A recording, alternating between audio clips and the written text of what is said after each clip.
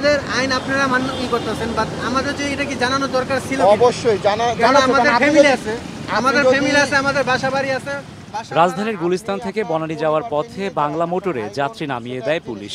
Traffic পুলিশের সঙ্গে বাগবিতণ্ডায় জড়ান রাইড শেয়ারিং পেশায় জড়িত মুস্তাফিজ রাত্রে থেকে টেলিভিশনে বার স্ক্রলে দিয়ে দিচ্ছি ঠিক আছে। করোনার সংক্রমণ রোধে বিআরটি এর রাইড শেয়ারিং সার্ভিস বন্ধের ঘোষণায় বাইক নিয়ে বিপাকে পড়েন চালকেরা। সড়কের মোড়ে মোড়ে মোটরসাইকেল নিয়ে এক প্রকার লুকিয়ে যাত্রী বহনের চেষ্টা করতে দেখা গেছে তাদের। অনেকে যাত্রী বহন করে পড়েছেন মামলার মুখে। যদি লকডাউন দিত তাহলে একটা জিনিস যে লকডাউন দিচ্ছে পুরো বাংলাদেশ লকডাউন সেটা অন্যরকম হতো কিন্তু এটা তো হুটুট করে আমাদের উপরে প্রেশার দেওয়া হলো। তো প্রথম পর্যায়ে আমরা তাদেরকে চেষ্টা করতেছি তাদেরকে মোটিভেট করার যে বিষয়টাকে জানানো।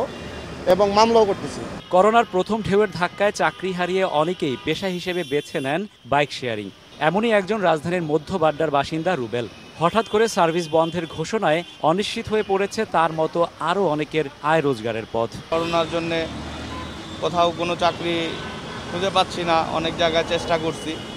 না পায়া লাস্টে পরে আমি বাইক নিয়ে আর কি যাই কামাই করি কোনো রকমে সংসারটা আর কি চালাই যাচ্ছে।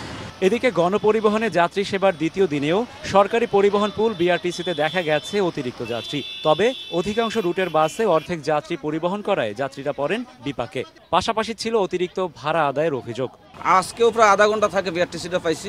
ষাট পার্সেন্টের অতিরিক্ত ভাড়া নেওয়া হয়েছে জোরপূর্বক। ভোগান্তি তো এখন বেশি। যেহেতু যাত্রী তো হাফ হাফ হয়ে যাচ্ছে। বাসের আসন অর্ধেকে নেমে আসার একদিনের মাথায় হঠাৎ করে রাইড শেয়ারিং সেবা বন্ধের ঘোষণা মরার উপর খাড়ার ঘা হিসেবে দেখছেন নগরবাসী। পাশাপাশি এই পেশায় জড়িত মানুষগুলো পড়েছেন মহা সংকটে দেশে করোনা সংক্রমণের প্রথম পর্যায়ে গত বছরের পহেলা জুন গণপরিবহনের অর্ধেক আসন ফাঁকা ও ষাট শতাংশ ভাড়া বাড়ায় সরকার। রাশেদ বাপ্পি, সময় সংবাদ, ঢাকা।